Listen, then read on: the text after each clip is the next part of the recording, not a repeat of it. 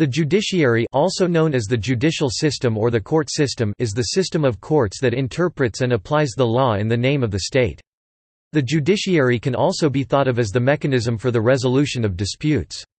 Under the doctrine of the separation of powers, the judiciary generally does not make statutory law which is the responsibility of the legislature or enforce law which is the responsibility of the executive, but rather interprets law and applies it to the facts of each case. However, in some countries the judiciary does make common law, setting precedent for other courts to follow.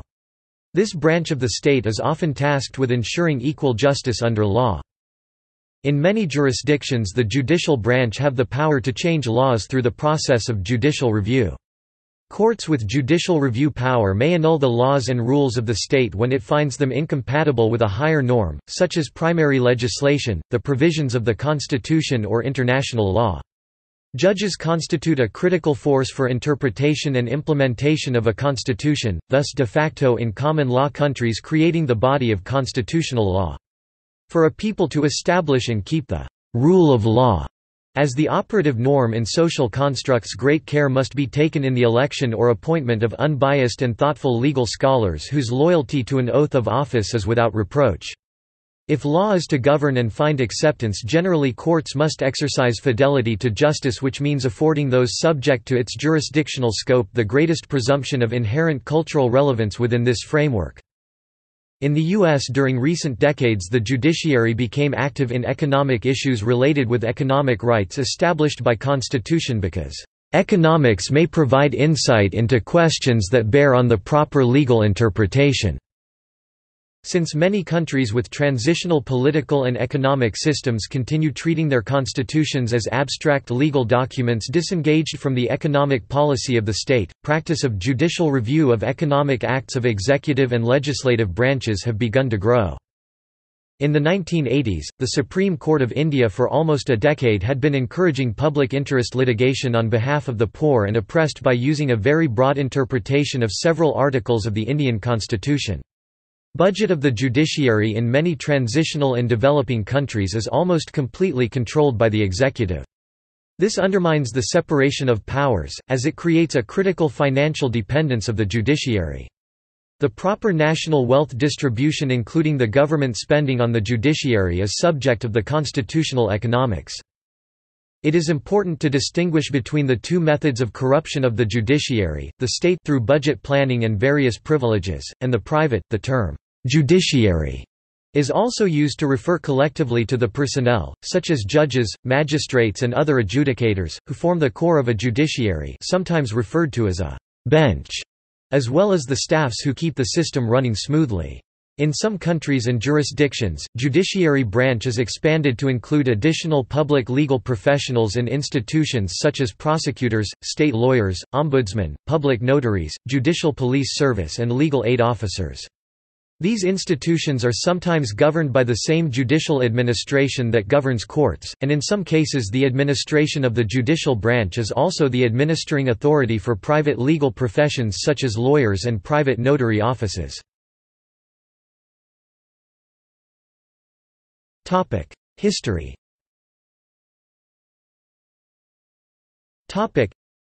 after the French Revolution, lawmakers stopped interpretation of law by judges, and the legislature was the only body permitted to interpret the law. This prohibition was later overturned by the Napoleonic Code. In civil law jurisdictions at present, judges interpret the law to about the same extent as in common law jurisdictions, however, it is different from the common law tradition which directly recognizes the limited power to make law. For instance, in France, the jurisprudence constante of the Court of Cassation or the Council of State is equivalent in practice with case law.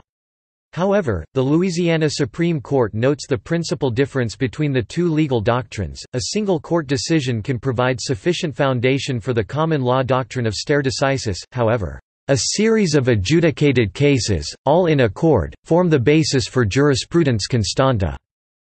Moreover, the Louisiana Court of Appeals has explicitly noted that jurisprudence constante is merely a secondary source of law, which cannot be authoritative and does not rise to the level of stare decisis.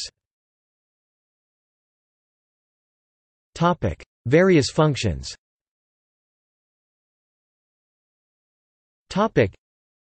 In common law jurisdictions, courts interpret law, this includes constitutions, statutes, and regulations. They also make law but in a limited sense, limited to the facts of particular cases based upon prior case law in areas where the legislature has not made law. For instance, the tort of negligence is not derived from statute law in most common law jurisdictions. The term common law refers to this kind of law. In civil law jurisdictions, courts interpret the law, but are prohibited from creating law, and thus do not issue rulings more general than the actual case to be judged. Jurisprudence plays a similar role to case law. In the United States court system, the Supreme Court is the final authority on the interpretation of the federal Constitution and all statutes and regulations created pursuant to it, as well as the constitutionality of the various state laws. In the U.S. federal court system, federal cases are tried in trial courts, known as the U.S. District Courts, followed by appellate courts and then the Supreme Court.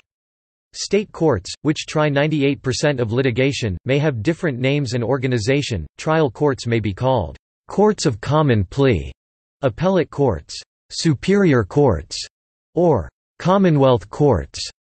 The judicial system, whether state or federal, begins with a court of first instance, is appealed to an appellate court, and then ends at the court of last resort.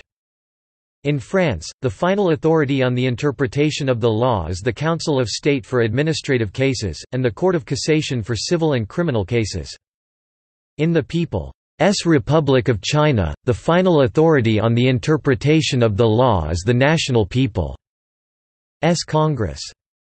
Other countries such as Argentina have mixed systems that include lower courts, appeals courts, a cassation court for criminal law and a Supreme Court.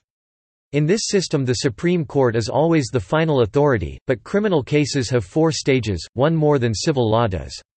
On the court sits a total of nine justices. This number has been changed several times.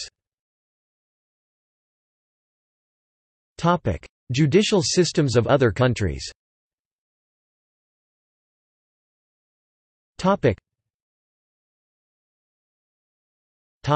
Japan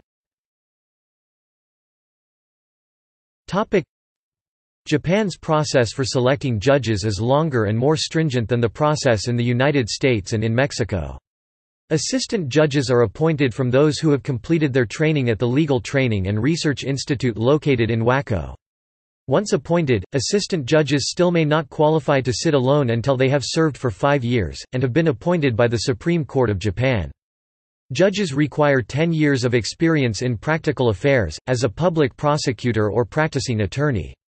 In the Japanese judicial branch there is the Supreme Court, 8 high courts, 50 district courts, 50 family courts, and 438 summary courts. Mexico Justices of the Mexican Supreme Court are appointed by the President of Mexico, and then are approved by the Mexican Senate to serve for a life term. Other justices are appointed by the Supreme Court and serve for six years. Federal courts consist of the 21 magistrates of the Supreme Court, 32 circuit tribunals and 98 district courts. The Supreme Court of Mexico is located in Mexico City. Supreme Court judges must be of ages 35 to 65 and hold a law degree during the five years preceding their nomination. United States United States Supreme Court justices are appointed by the President of the United States and approved by the United States Senate.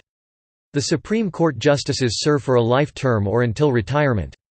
The Supreme Court is located in Washington, D.C. The United States federal court system consists of 94 federal judicial districts. The 94 districts are then divided into 12 regional circuits.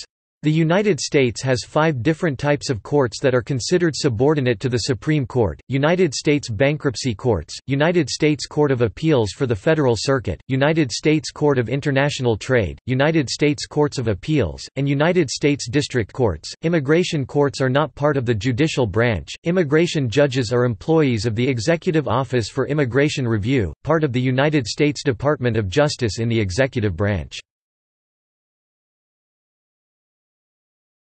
Topic. See also. Topic. Bench law. Supreme Court. Political corruption. Judicial independence. Judicial review. Rule according to higher law. Rule of law.